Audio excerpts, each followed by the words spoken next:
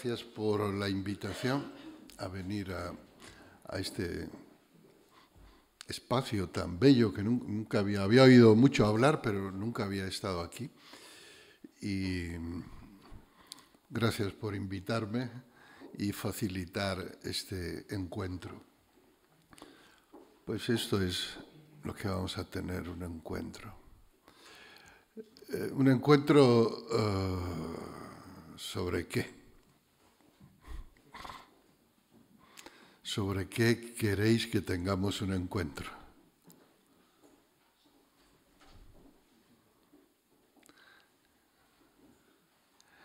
Bueno, dicho de otra manera, ¿de qué va esto? Porque a mí se me ha olvidado. Como decía el título de la conferencia, eh, el arte del olvido, el olvido de sí, el olvido de todo. ¿Por qué habéis venido vosotros? ¿Os acordáis?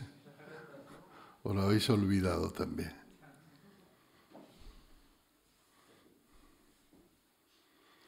¿Habéis venido para oír hablar de filosofía zen? ¿Es posible? ¿Sí? No parece, no, no parece que la mayoría esté muy convencida, ¿no? De, ¿De meditación? A lo mejor. ¿Mejor de meditación? Ya, de meditación zen. ¿No? ¿Verdad? Mm, a mí me enseñaron que la meditación zen es el arte del olvido de sí.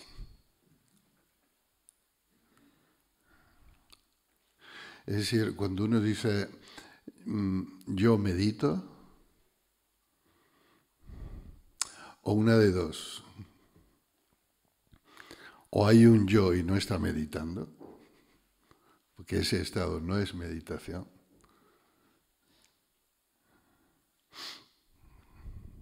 o hay meditación, pero no hay un yo que medite.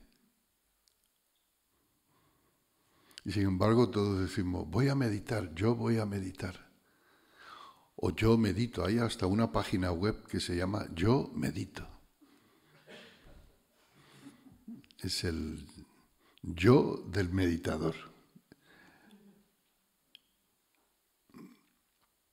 El maestro Dogen Zenji, que fue quien introdujo la tradición budista Soto Zen de China a Japón en el siglo XIII, y que es una de las fuentes de inspiración para nosotros eh, desde entonces. Escribió una célebre frase en, en, su obra magna que se llama El Show Bogenzo, que podéis encontrar publicado en la editorial Kairos. Estudiar la vía del Buda, que el Zen es la vía del Buda, Estudiar la vía del Buda, estudiar la vía del Zen, significa estudiarse a sí mismo.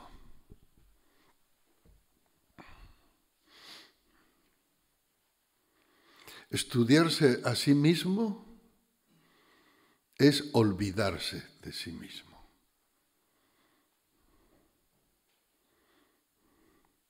Cuando uno se olvida de sí mismo, todas las existencias te reconocen y tú te reconoces en todas las existencias, disolviéndose la frontera entre yo y tú, entre yo y otro.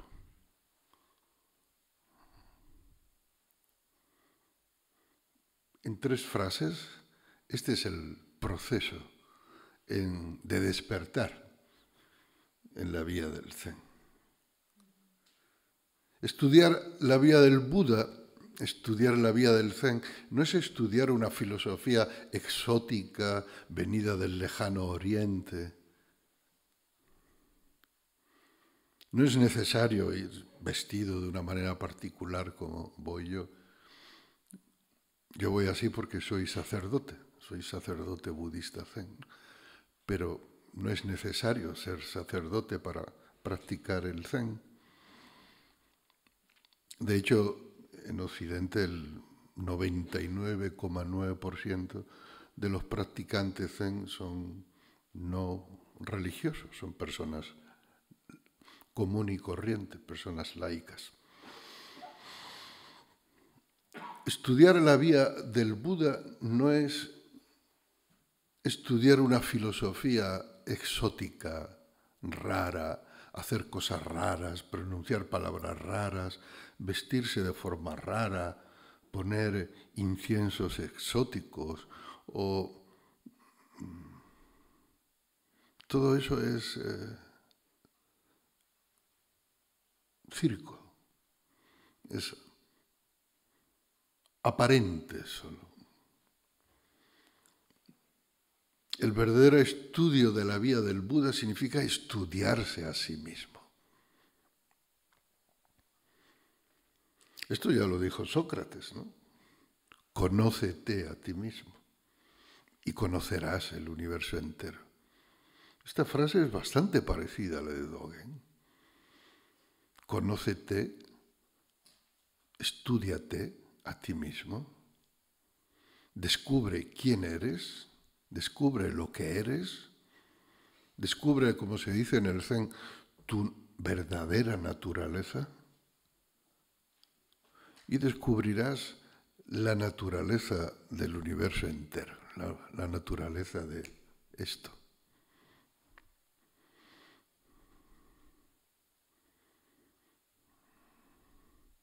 Estudiarse a sí mismo. Pero, ¿qué es este sí mismo? ¿Quién es este sí mismo? ¿Quién estudia a quién? Yo me estudio a mí mismo. Entonces, ¿quién es el que estudia y quién, es el estudiado o lo estudiado? ¿Desde dónde parte el estudio?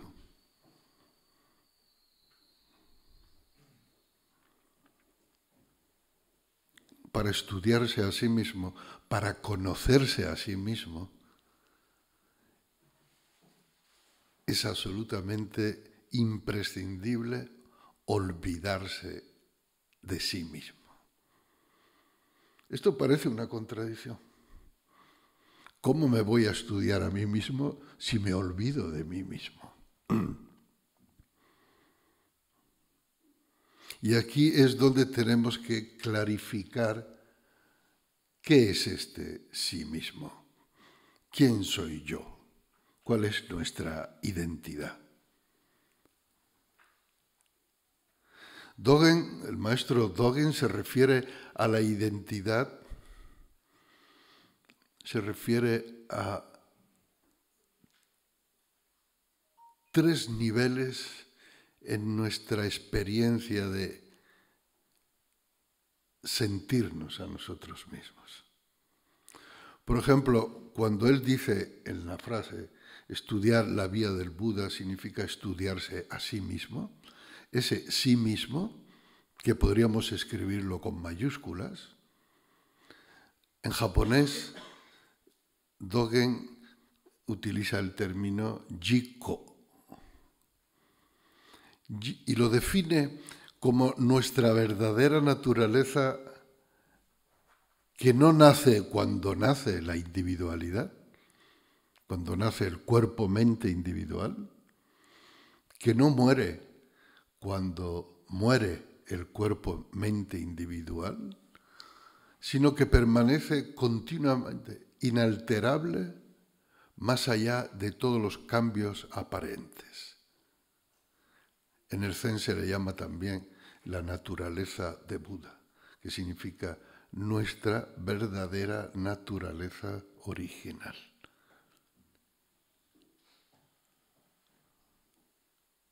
Este es el sí mismo con mayúscula.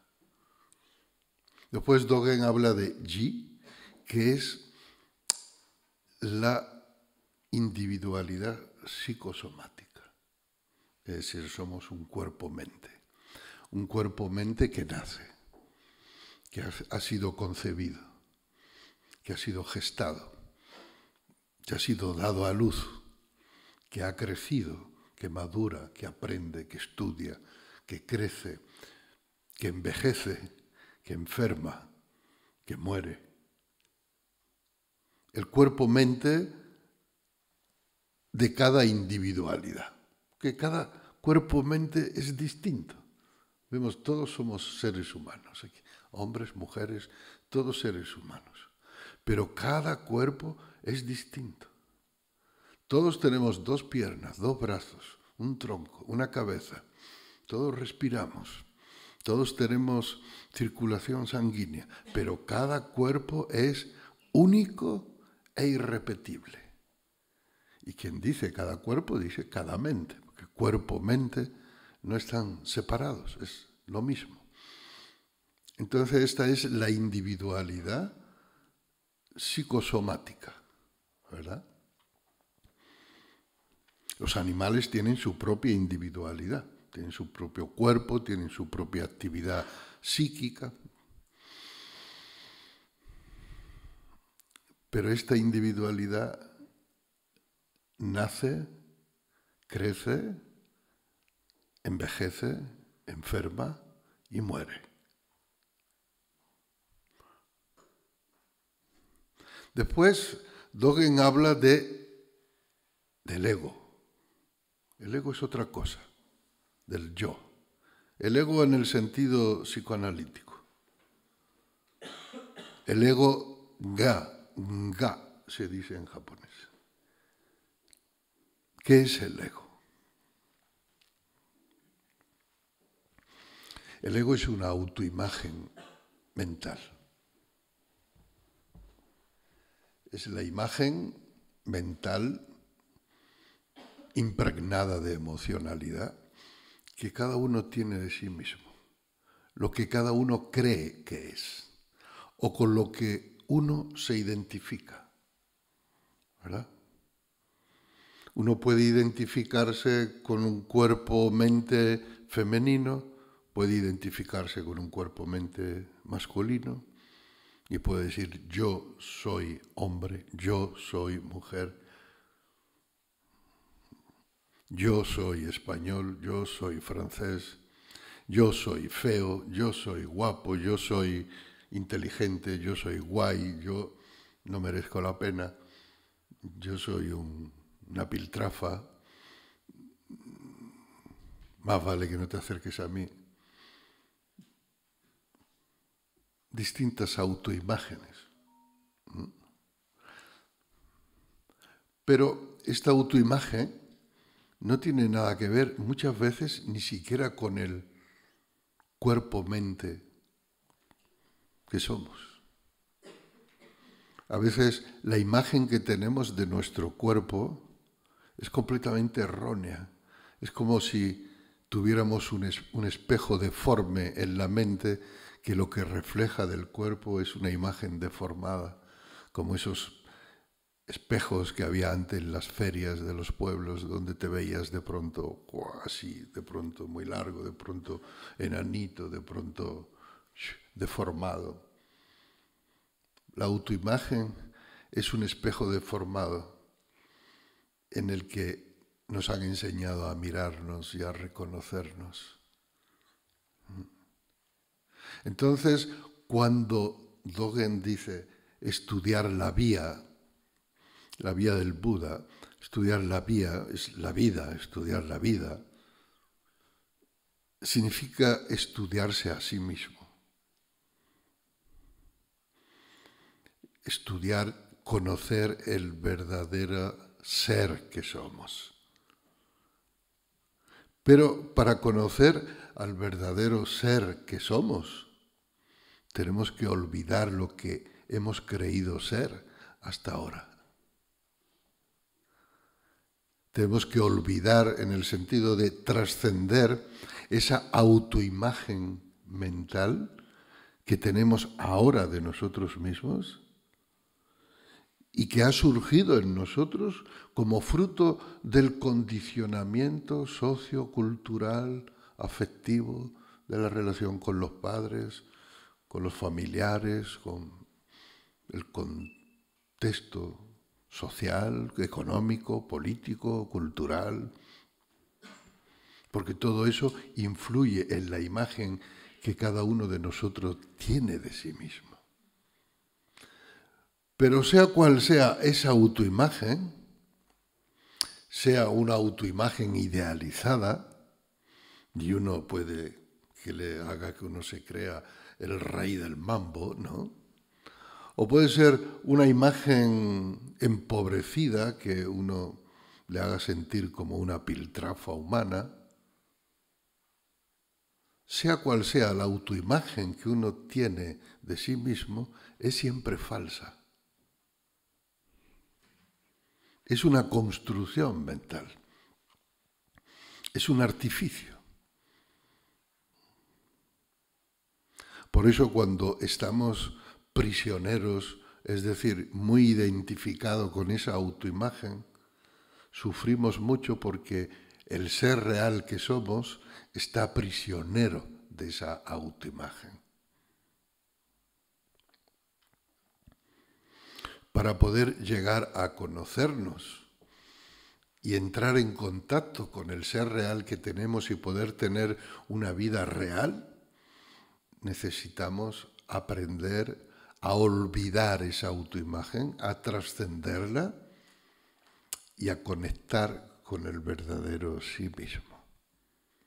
Esta es la meditación zen toda la práctica del Zen, no solo la meditación sedente, sino también esta tecnología de conocimiento que se aplica en la vida cotidiana, en particular en los entrenamientos, eh, en los templos zen,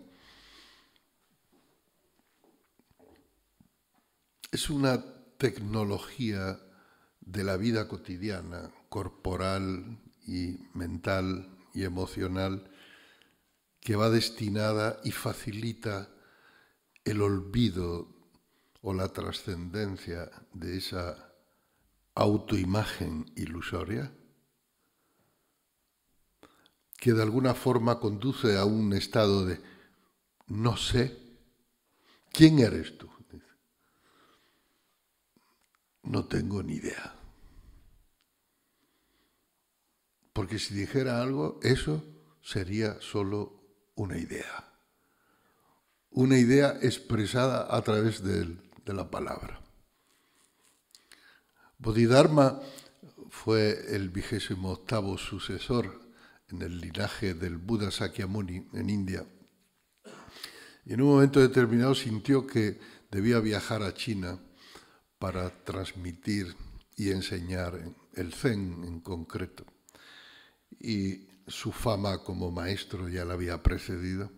Así que fue a, a, a Wansu, a, la costa, y le estaba esperando el emperador con toda su corte. Había movilizado toda la corte para dar la bienvenida a un gran maestro. El emperador era un ferviente budista que había uh, y que financiaba la traducción de sutras, el mantenimiento de los monjes, de los templos. Era generoso, protegía el budismo. Y le preguntó a Bodhidharma, yo he construido muchos monasterios y subvenciono la traducción de muchos sutras y mantengo a muchos monjes. ¿Cuál es mi mérito? Como diciendo, ¿Qué voy a conseguir con todo esto? ¿Qué voy a obtener a cambio de todo esto? Y Bodhidharma le dijo, ningún mérito. Es decir, no vas a obtener nada. Decirle esto a un emperador que ha estado manteniendo a las comunidades de los monasterios budistas durante años, es difícil. ¿eh? Recibirlo más difícil todavía. Y el emperador le dijo, entonces, cuál es la verdad sagrada, la verdad más profunda de todas. Diciendo, como preguntando, entonces, ¿en qué consiste el budismo? Es decir, si no consiste en hacer cosas buenas y recibir los méritos a cambio, o si no consiste en hacer cosas buenas para recibir los méritos y para obtener buenos méritos, buenos renacimientos, buenas circunstancias, un estado de felicidad, de bienestar, de alegría, de todo esto, si el budismo no sirve para esto, entonces, ¿qué es? Y Bodhidharma le dijo, el secreto más alto o la verdad más alta es un vacío insondable, sin fondo. Un vacío que lo disuelve todo. El emperador se quedó completamente estupefacto. Digo, entonces, ¿quién eres tú? Tú que tienes tanta fama que has venido de India, Señor. ¿Quién eres tú? ¿Qué dices eso? Y la respuesta de Bodhidharma fue muy célebre. En japonés es fushiki, que significa no tengo ni puta idea. O sea, literalmente sin conciencia. En madrileño, ni puta idea.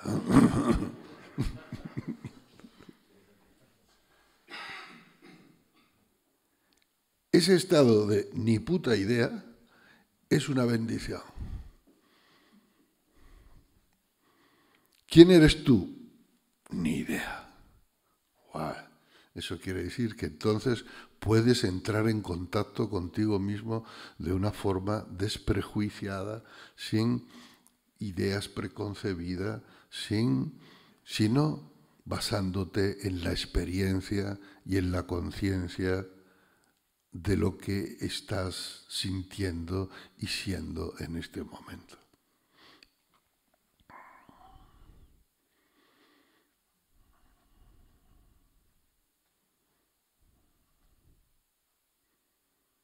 Así meditar en el zen es no hacer nada.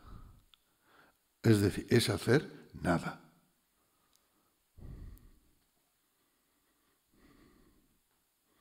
¿Para qué sirve hacer nada? Para nada. Y entonces, ¿por qué hacerlo? Por nada.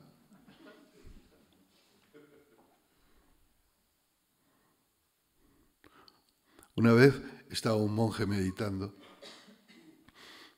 llevaba todo el día, llevaba varios días, varias semanas meditando intensamente. Y se acerca el maestro y dice, ¿eh tú? ¿Qué haces? Y el monje le dijo, nada. Y el maestro dijo, pero ¿cómo que nada? Estás ahí sentado en la postura del loto, mirando a la pared. Estás meditando, ¿no? El monje le dijo, no. ¿Eh? Si le dijera que estoy meditando, significaría que estoy haciendo algo.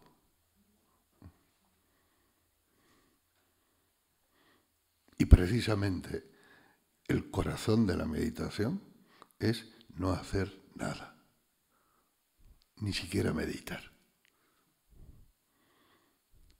Así que aquellos que dicen que meditan, en realidad, ¿qué están haciendo?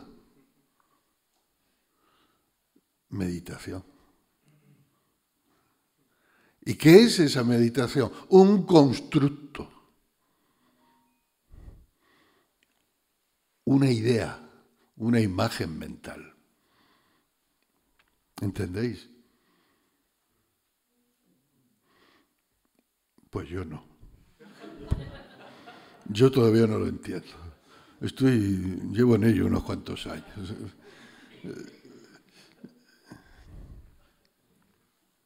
El yo no puede meditar.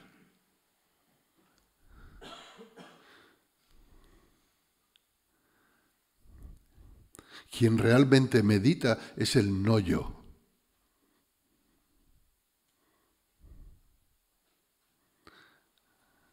El yo puede llevar al no yo hasta el cojín de meditación. Puede coger el autobús, puede coger el coche, puede coger el metro, puede caminar, hasta el cojín de meditación. Cuando llega al cojín de meditación, el yo debe desaparecer y entonces es el no yo quien, el que no medita. Es el no yo el que no medita. olvidarse a sí mismo. Pero esto no es solo una ideología, no es una filosofía, es una experiencia. No me digáis que no hay momentos en el que estáis hasta el gorro de vosotros mismos. A mí me pasa, ¿eh? hay veces que no me aguanto. Siempre yo y siempre yo y siempre yo, siempre hay el yo y siempre lo mismo y siempre las mismas ideas, los mismos prejuicios, los mismos miedos, las mismas paranoias, las mismas obsesiones. Joder, para allá, me tienes harto.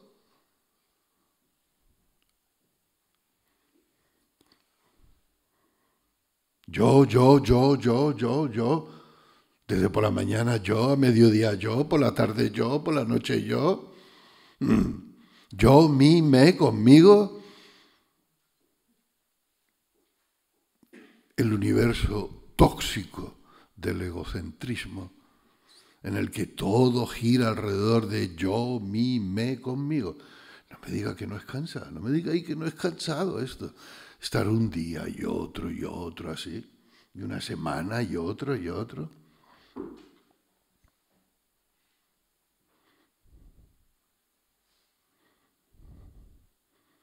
Cuando uno se sienta a meditar, ¿qué hace?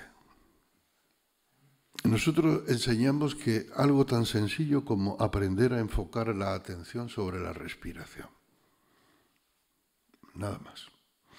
Y dejar que la respiración se produzca amplia y profundamente.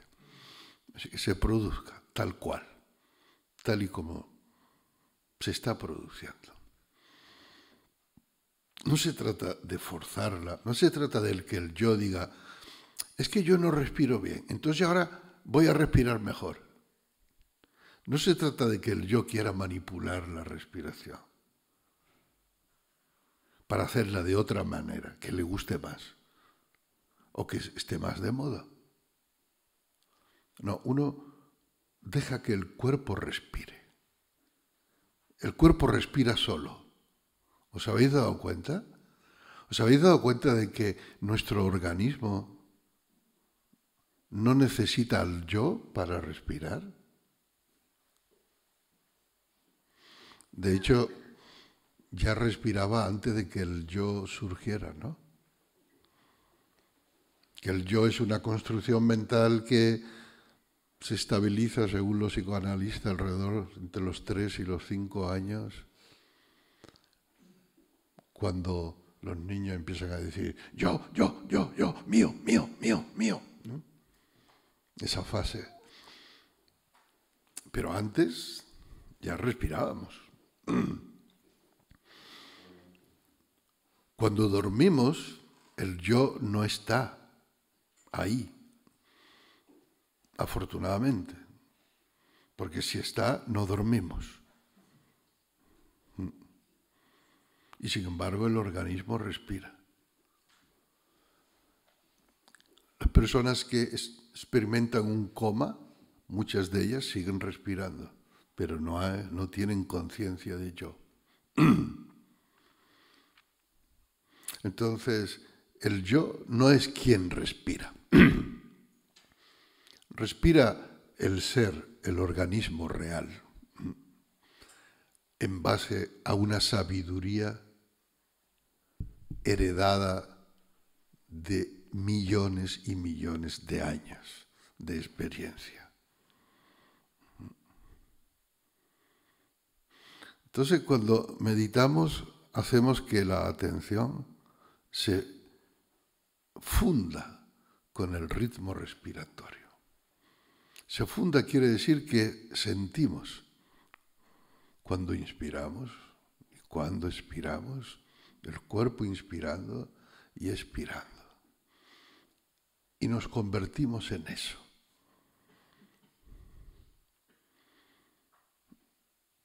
Es una experiencia que la podéis probar, es fácil, es sencilla, es gratuita, en cualquier parte, en el metro, esperando el metro, dentro del metro, conduciendo también, en casa, aquí, ahora. En vez de escuchar tantas tonterías como estoy diciendo, podéis sencillamente fundiros con vuestra respiración e ir más allá de cualquier pensamiento, de cualquier idea. Ahí se produce un trance, un trance místico, suave, cotidiano, familiar, cercano, en el que uno olvida todo lo que ha creído ser o cree ser o piensa del antes, del después, de esto, de lo otro. Uno experimenta el santo olvido, el olvido. Este olvido no es Alzheimer, no tengáis miedo. Al contrario, este reposo que le damos a la conciencia y al cerebro en estos olvidos durante la meditación, después refuerza muchísimo el funcionamiento cerebral y refuerza mucho nuestro sentido de la identidad. Pero este olvido de sí es imprescindible para entrar en contacto con el ser real que somos. No sé cómo vamos de tiempo. ¿Vamos bien? Y mm, no sé si me explico. Yo vivo en el monasterio Luz Serena, monasterio Zen Luz Serena que fundé con un grupo de practicantes y de discípulos hace 35 años en el interior de la comunidad valenciana. Allí somos una pequeña comunidad de alrededor de 10 personas residiendo, pero es un lugar donde viene mucha gente a hacer retiros de fines de semana, de vacaciones, en verano, Semana Santa, etc. Es un lugar de práctica. Y es muy bello porque la vida cotidiana en el Zen está ritmada por sonidos, sonidos de instrumentos, instrumentos muy sencillos. Por ejemplo, unas campanitas a las seis y media nos... Get up, el despertar.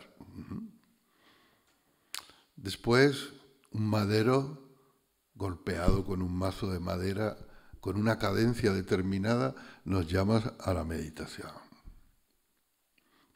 Después, una especie de campana de metal nos llama a la comida. Después un tambor enorme, que era una antigua barrica de whisky escocés, que la hemos reconvertido en tambor en el monasterio, nos llama al trabajo, a trabajar, al trabajo consciente, trabajo corporal. Y al final del trabajo también. Y así todo el día. De manera que es posible estar sin reloj. Es posible olvidarse del tiempo. Al mismo tiempo que el instante presente se expande y se convierte en un instante eterno. Eterno quiere decir más allá del tiempo, sin tiempo. Entonces experimentar el no tiempo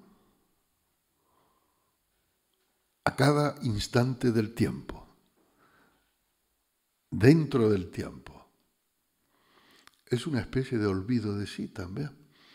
Para entrar en esta dinámica uno debe olvidarse de sí y seguir sencillamente lo que marca el ritmo en cada momento, que marca ahora trabajar, ahora te levantas, ahora te asea, ahora ducha, ahora comer, ahora meditar, ahora trabajo y tal. Oye, pero es que no me apetece, es que ahora en realidad lo que me apetecería es, bueno, lo que te apetece y lo que no te apetece no tiene ninguna importancia.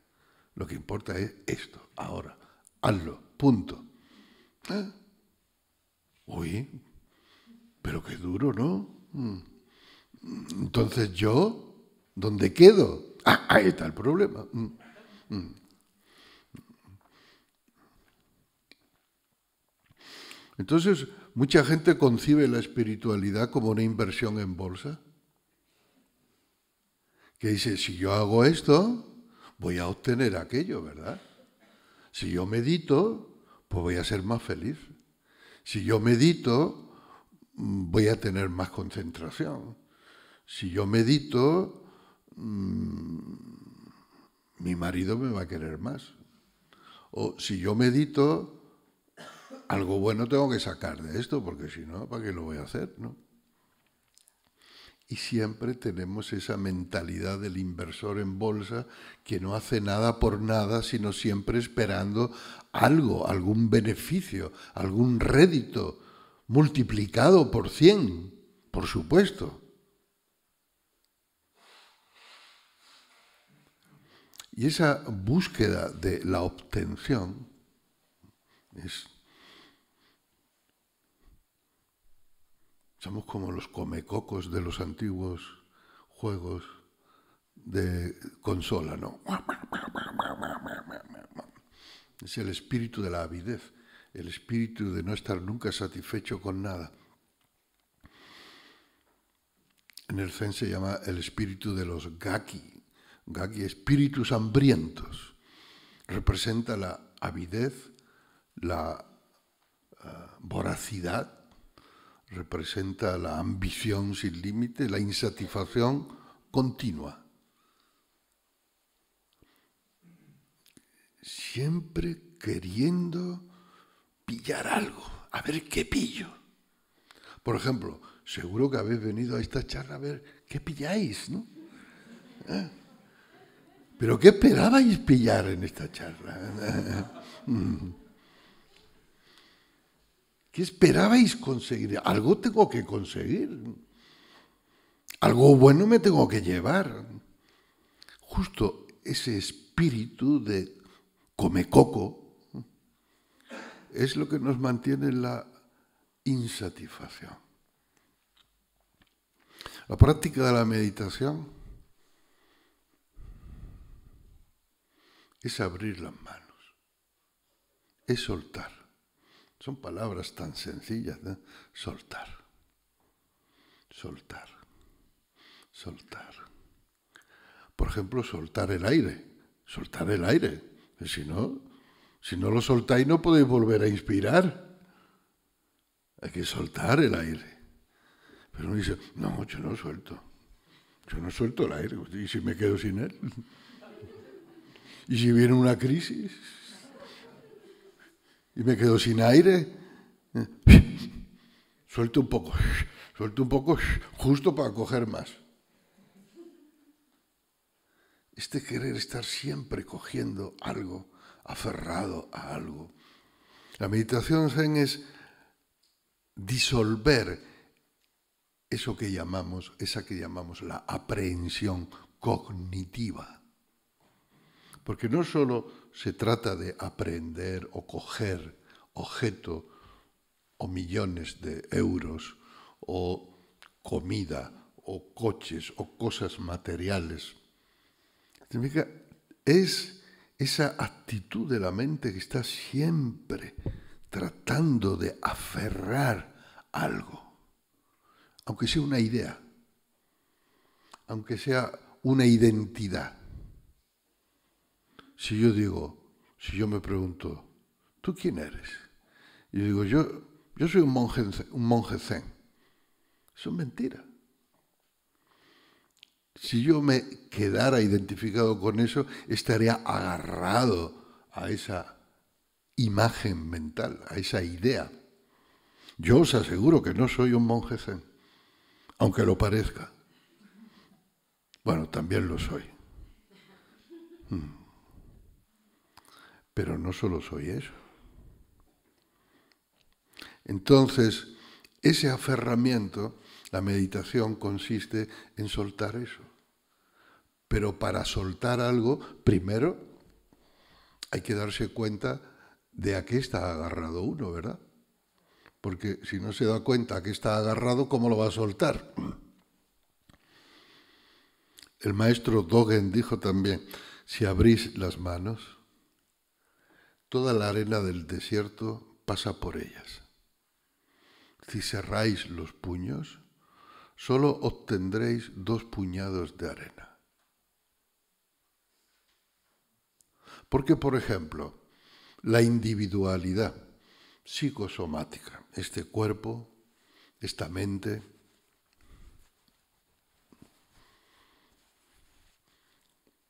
¿realmente es algo que poseemos? ¿Qué pensáis vosotros? ¿Mm? ¿Lo tenemos bajo control?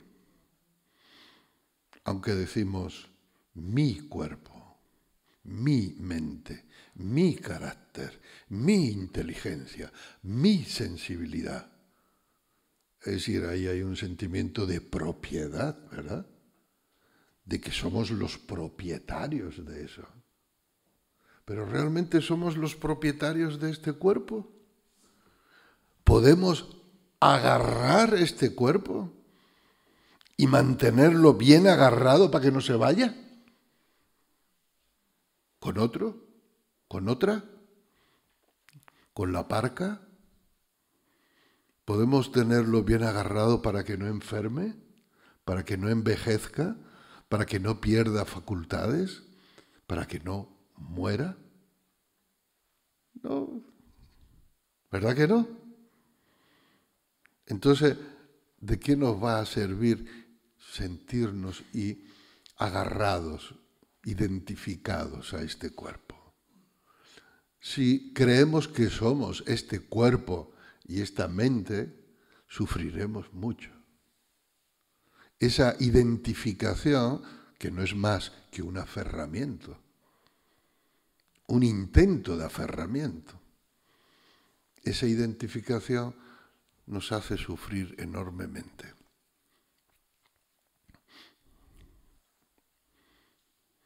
El sí mismo el verdadero ser que somos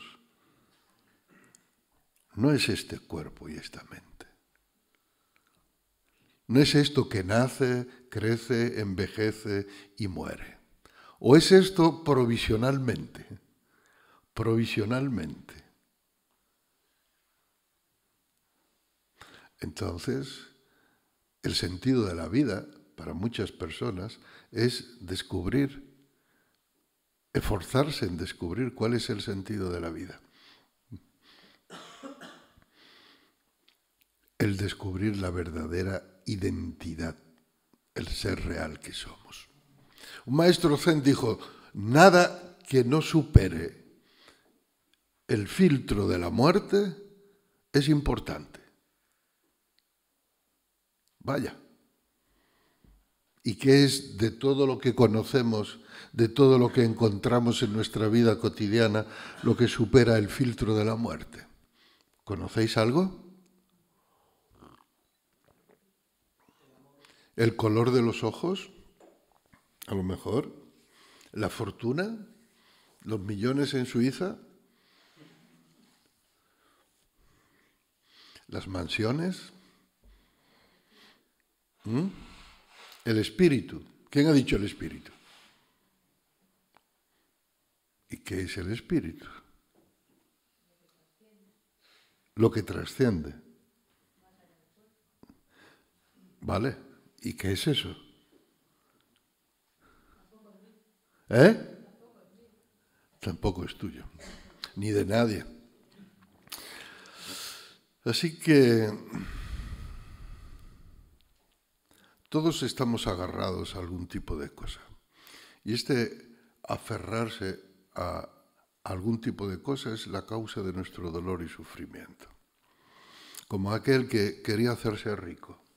Estaba cansado de levantarse cada mañana a las seis y media de la mañana para ir a trabajar, pasarse todo el día trabajando, cinco o seis días a la semana, once o doce meses al año, y no levantar cabeza, y soñaba con ser rico para hacer lo que le diera la gana. Entonces iba todas las mañanas, antes de irse al trabajo, iba a la ermita del pueblo que estaba a las afueras a pedirle al santo del pueblo que lo hiciera rico. Todas las mañanas, fuera primavera, verano, otoño, invierno. Y un día de invierno, que había caído una helada enorme, hacía un frío que pelaba al volver de la ermita se encontró dos bolsas de cuero en medio del camino. Y dijo, ¡Ah! mi buen Dios ha concedido mi gran deseo. Aquí está lo que siempre ha anhelado. Entonces fue corriendo a coger las dos bolsas, pero estaban atascadas en el hielo, porque se había helado el camino. Entonces miró a los lados diciendo, si viene alguien, cogió las bolsas y tiró con toda su fuerza, pero no había manera de sacarlas. Entonces se le ocurrió una idea antes de que apareciera alguien y tuviera que compartir lo que había allí. Y era orinar encima de las bolsas, ¿verdad? Buena idea, brillante. Orín caliente, hielo derretido, bolsas liberadas.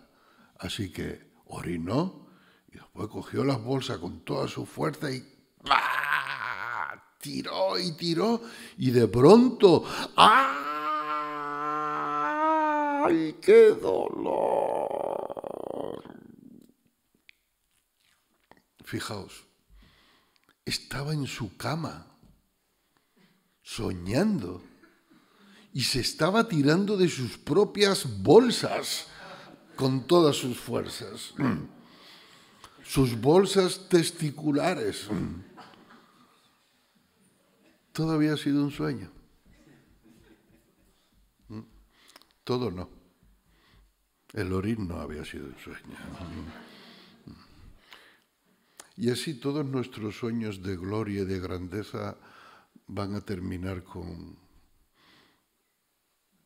un gran pipí en la cama, cuando ya no podamos controlar ni siquiera la vejiga, cuando no podamos controlar los esfínteres, cuando nada haya que pueda controlar el cuerpo. Dice, porque viene a contarnos este hombre estas cosas tan... Bueno, es que no sé qué contaros.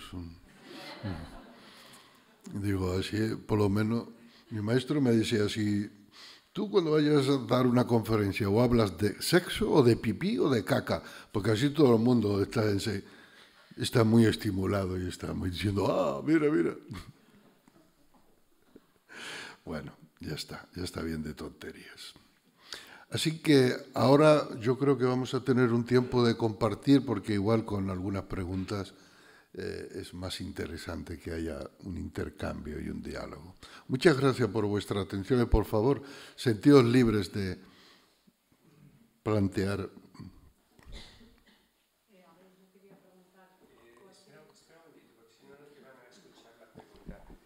Y a mí me gustaría que las preguntas fueran breves y las respuestas breves. A mí me gustaría saber, a ver, cómo nos podemos liberar de esos apegos que tenemos en nuestra vida a tantas cosas, tantos apegos a nuestra casa, a nuestras joyas, a nuestras cosas. Y por otro lado también, eh, a ver, eh, liberar el dolor que yo, por ejemplo, perdí a mi hijo hace tres años y entonces tengo como un vacío en mi vida, una cosa que no supero, que me encuentro pues una vida muy vacía porque me parece que ya el hecho de estar sin mi hijo, esta vida ya no tiene sentido para mí, no merece la pena. Entonces yo me gustaría si me podías dar algunas pautas para que yo realmente le encuentre sentido a mi vida y me pueda encontrar a gusto, bueno, entre comillas, ¿no? por si se puede decir que se puede encontrar feliz después de la tragedia de no tener a, mi hijo. Muchas gracias. Mm. La pérdida de un hijo es, sin lugar a duda, uno de los dolores más intensos que un ser humano pueda sentir. Eh, por ley natural pareciera que los padres deben morirse antes que los hijos.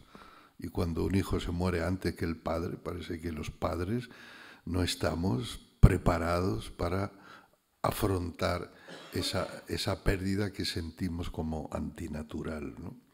Y sin embargo, la muerte es lo más natural del mundo.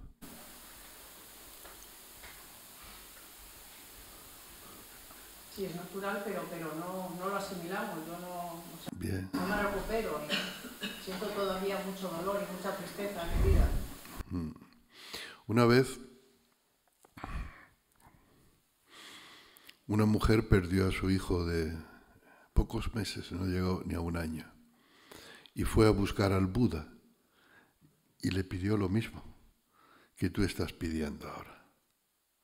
¿Cómo hacer para superar este dolor. Devuélveme a mi hijo, le dijo, haz algo para devolverme a mi hijo, le dijo al Buda. ¿Puedes hacer algo para ayudarme? Y el Buda le dijo, puedo hacer algo,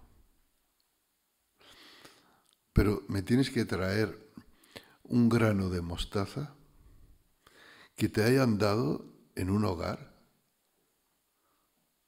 en el que nunca haya muerto nadie. Entonces la madre fue a un hogar y llamó y dijo, necesito un grano de mostaza de un lugar, de un hogar donde no haya muerto nadie. ¿Aquí ha muerto alguien? Entonces le dijo, ah, sí, murió mi hermano, en otro le dijeron, murió mi padre, en otro murió mi hijo, en otro murió mi hija, en otro murió mi abuelo. Y se pasó meses y meses recorriendo todos los hogares buscando un hogar donde no hubiera muerto nadie. Y no lo encontró. Así que después de meses se dio cuenta y fue a ver al Buda y le dijo, gracias por ayudarme. Y sentir más o menos como que te reconforta, como que no eres el único que tiene esa pena, sino que la pena está repartida más o menos, ¿no? Te reconforta con la conciencia despierta de que la muerte es la vida y la vida es la muerte. No son distintos. Allí donde hay vida hay muerte. Si no hubiera vida, no habría muerte. Entonces nosotros tenemos una falsa imagen, una imagen mental distorsionada, errónea de lo que es la vida. Creemos que la vida es desde el nacimiento hasta que una persona deja de respirar y después cuando una persona deja de respirar y el electrocardiograma da plano, entonces empieza la muerte. Y la muerte y la vida son dos cosas completamente distintas. Pero no es así. La muerte está aquí ahora. Aquí ahora este cuerpo se está transformando. Hay células que están muriendo. Hay partículas elementales a nivel cuántico que forman las moléculas y el ser material que somos, que están apareciendo y desapareciendo instantáneamente.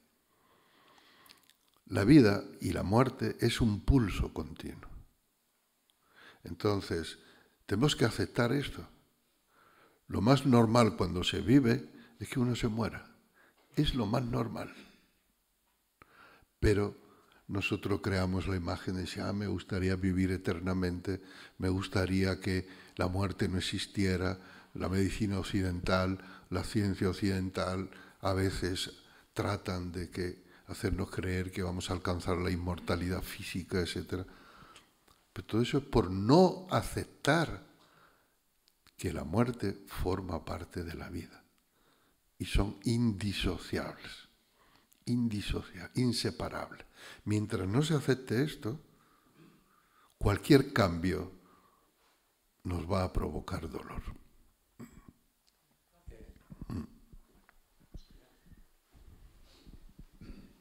Yo quería preguntar, que se tiende a pensar de los sueños que, los, los sueños creemos que están fuera de lo que es la realidad. Mi pregunta es, en el Zen, ¿los sueños son, están en la realidad? ¿Forman parte de la realidad? Sí, en el Zen la realidad es un sueño. Un sueño. Otro maestro Zen dijo, entre palangana y palangana, tonterías. ¿Sabéis lo que es una palangana, no? Aquí se dice palangana también. Cuando uno nace, antiguamente por lo menos, se usaba una palangana para lavar al recién nacido. Entonces, la primera palangana simboliza el nacimiento. Cuando uno muere, antiguamente por lo menos se usaba una palangana para amortajar el cadáver, para limpiar el cadáver. Esa es la segunda palangana. Entre la primera palangana y la segunda palangana, tonterías. Ese es el sueño de la vida, una tontería.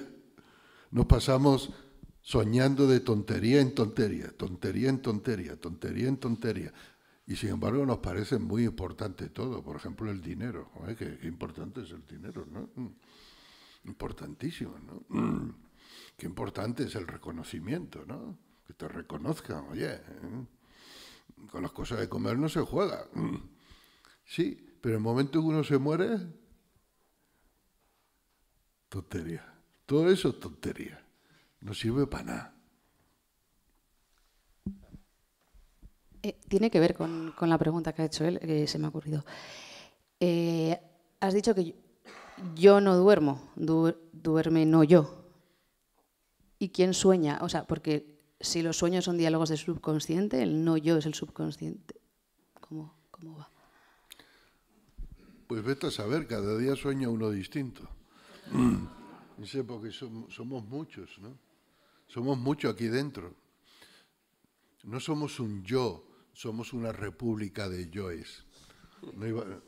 No, voy a decir una monarquía, digo una república de yoes, es decir, muchos yoes eh, dentro de uno. Muchos yoes quiere decir muchos impulsos, muchos pensamientos, muchas ideas, muchos recuerdos, pero no hay un protagonista único y exclusivo y permanente de toda esa actividad. De hecho, uno sueña muchísimo durante la noche, pero después no se acuerda siquiera. Bueno, te puedes acordar de algo, pero no te acuerdas de todo. No te acuerdas de todo. Entonces, en la tradición budista, los sueños nocturnos son experiencias ilusorias. ¿Estáis de acuerdo? ¿Que los sueños nocturnos son experiencias ilusorias? ¿Sí o no? ¿No? ¿Quién no está de acuerdo? A ver, yo sueño que me ha tocado el gordo de Navidad 300 millones. Y después me despierto y me doy cuenta de que yo no tengo 300 millones. Entonces, eso es ilusorio, ¿no? Lo que yo he soñado es ilusorio, ¿no? Vale. Los sueños nocturnos son ilusorios. Pero esto que estamos viviendo en lo que llamamos realidad o el estado de vigilia es también un sueño. Es también un sueño. Por eso, cuando uno se despierta del sueño de la vida, en la tradición budista se le llama Buda. Buda significa el que se ha despertado del sueño de la vida. El que se ha despertado del sueño de la vida no quiere decir que ya no sigue viviendo, que ya no sigue en el sueño, sigue en el sueño, sigue soñando, pero es consciente de que es un sueño. Uno puede decir, no, los sueños no son consistentes. Por ejemplo, yo me caigo de un quinto piso en un sueño y no me pasa nada. Me despierto en la cama igual. Ahora, si viviendo en esta realidad me tiro de un quinto piso, eso sí que tiene consecuencias, ¿cierto? Pero, ¿desde qué punto de vista? Es decir, en el momento de la muerte, que es un momento de despertar del sueño, uno se da cuenta pues que todo lo que ha vivido durante 40, 50, 60, 80 años desaparece instantáneamente como un sueño, como desaparecen los sueños nocturnos cuando uno se despierta por la mañana, de golpe. ¡Fum! Por eso decía Shakespeare, la realidad está hecha del mismo magma que los sueños, de la misma materia prima que los sueños. Pero claro, ahora que estamos soñando, ahora que estamos dentro del sueño, no queremos aceptar que esto sea un sueño. Pero ya lo aceptaremos. Pero disculpa, esa, el punto de vista humano que nos quieres dar a entender es que ya después habrá otra vida después. No, no, yo no estoy hablando de ninguna otra vida. Estoy hablando de esto, de aquí, ahora. ¿Alguna otra pregunta? Sí, maestro. Eh, Creo que veo e identifico tu identidad psicofísica, más o menos también tu identidad egoica, pero puedes, puedes manifestarnos de modo verdadero y reconocible tu naturaleza búdica? Puedo hacerlo. ¿Lo haces? Claro. ¿Lo haces? Pero lo que no es seguro es que tú puedas verlo. Claro, claro.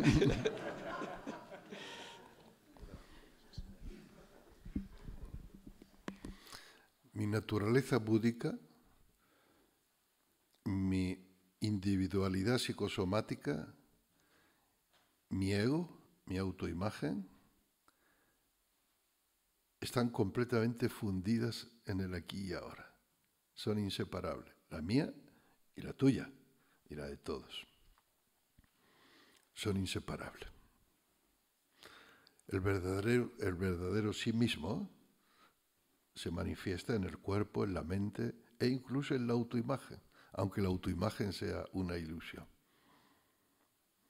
Es decir, tú no puedes levantarte a ti mismo del suelo tirando de tus orejas hacia arriba. ¿A qué no? ¿O sí? No. De la misma forma, lo que tú eres ahora y lo que tú crees ser ahora no puede atrapar ni ver el verdadero sí mismo. Pero cuando tú te olvides, cuando tú te olvidas, entonces el verdadero sí mismo está ahí, aparece, siempre está ahí. ¿Alguna otra pregunta? Sí, muy rápido. Eh, ¿Qué opinión o pensamiento se tiene en el Zen acerca del suicidio? Si es que hay algún tipo de reflexión o parecido. Pregúntaselo a él. Yo no soy el representante del Zen. No soy el portavoz del Zen. Vale, eso lo entiendo mejor. eh, No tengo opinión.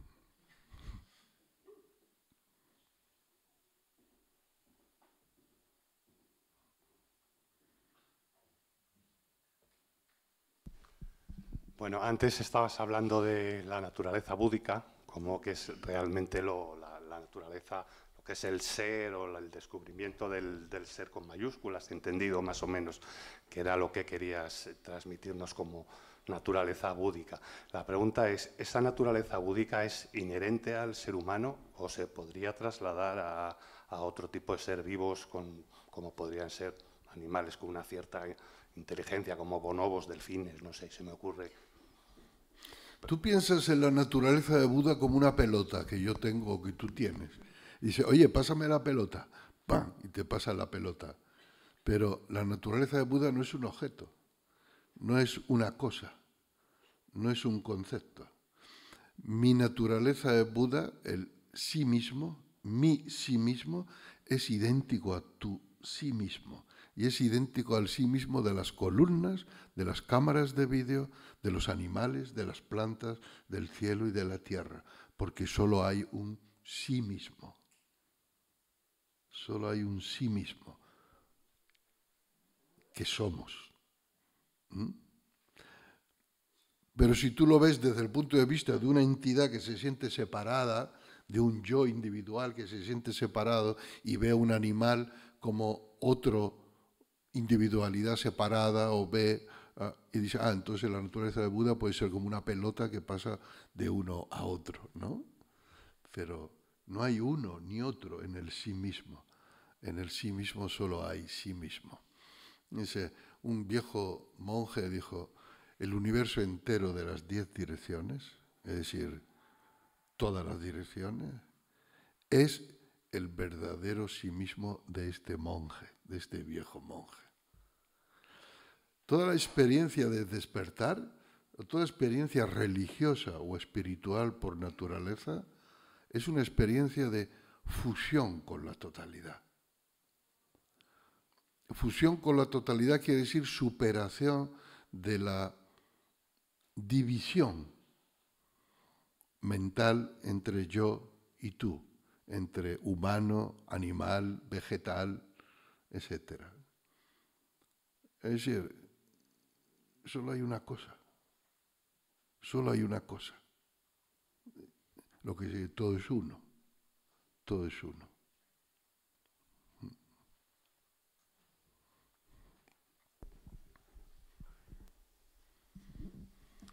Usted nos ha dicho que sentarse a meditar es sentarse y no hacer nada. Desde mi punto de vista, uno se pone y de repente empiezan a venir esos vecinos coñazo, que son se ha roto la persiana, el colegio del niño, te vuelves a centrar en la respiración y al rato viene otra tontería. Eso, eh, a base de entrenar, se puede sosegar a base de practicar. Claro, claro que se puede sosegar. La reactividad se puede sosegar. Pero vamos, que también te puedes ir a meditar a un sitio más tranquilo, ¿no? Digo yo, ¿no?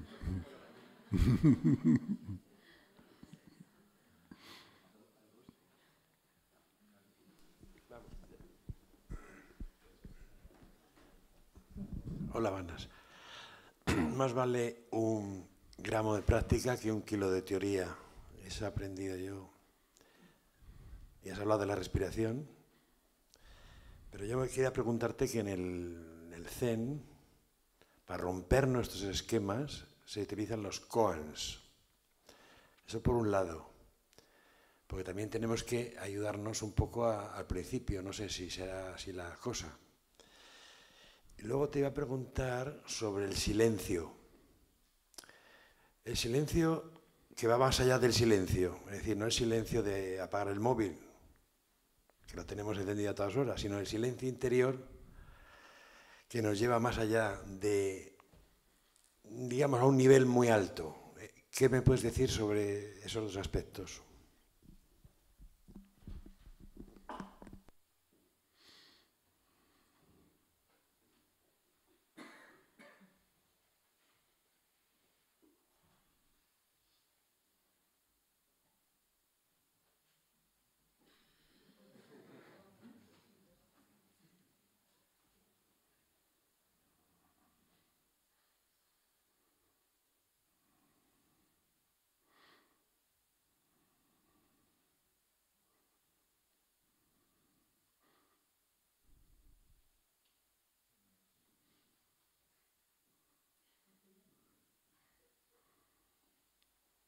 Estaba aquí.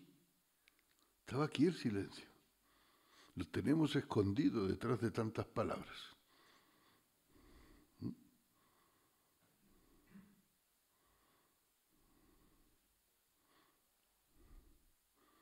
De igual forma hay un silencio en la no mente que está oculto por el ruido de la mente.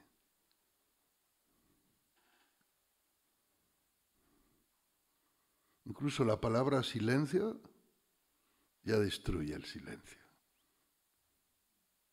Incluso el pensamiento sobre el silencio ya perturba la calma original de la no mente.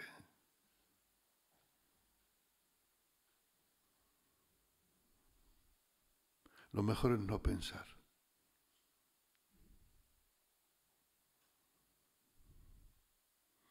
Aprender a no pensar. Un monje le preguntó a su maestro, maestro, ¿usted en meditación cómo piensa? Y el maestro dijo, pienso sin pensar. El otro le dijo, ¿y cómo se piensa sin pensar?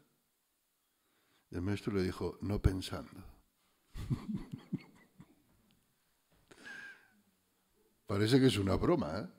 Pero no es una broma, es muy profundo, es muy profundo. Maestro, estoy ansioso por llegar al silencio. Me he leído cien mil libros y he discutido con cien mil filósofos acerca del poder y la importancia del silencio. ¿Cree usted, maestro, que me siento ya más cerca del silencio?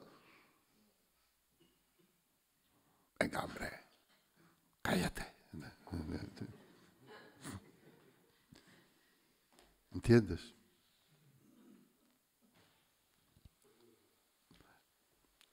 ¿Hay tiempo para más preguntas? El Koan, ¿dónde está el Koan? Mm. Nosotros somos de los otros, de los que no usamos los Koan. Mm.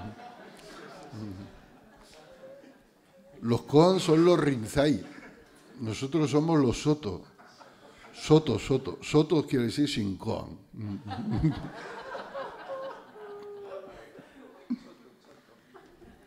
Pero el maestro Dogen, que era maestro Soto, solo tenía un koan y él le llamaba Genjo Koan, que significa lo que está emergiendo en este momento delante de tus ojos es un koan.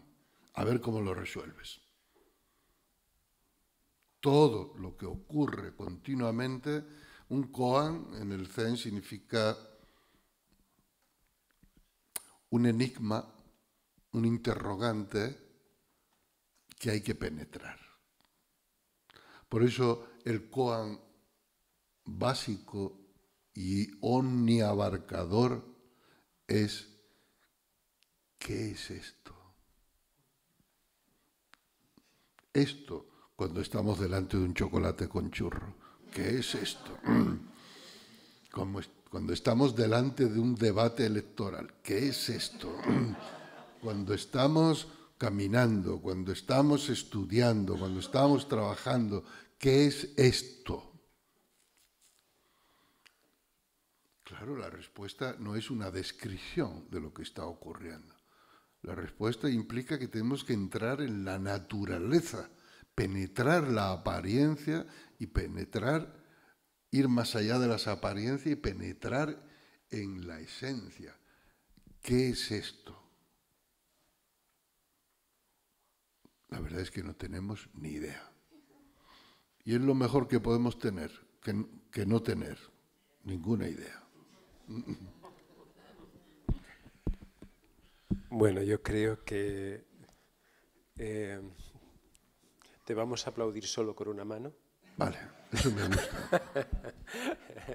eh, bueno, le vamos a ahí con las dos manos.